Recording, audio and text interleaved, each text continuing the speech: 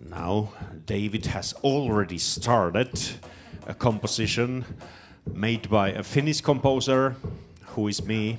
Uh, yeah, and uh, this is called July.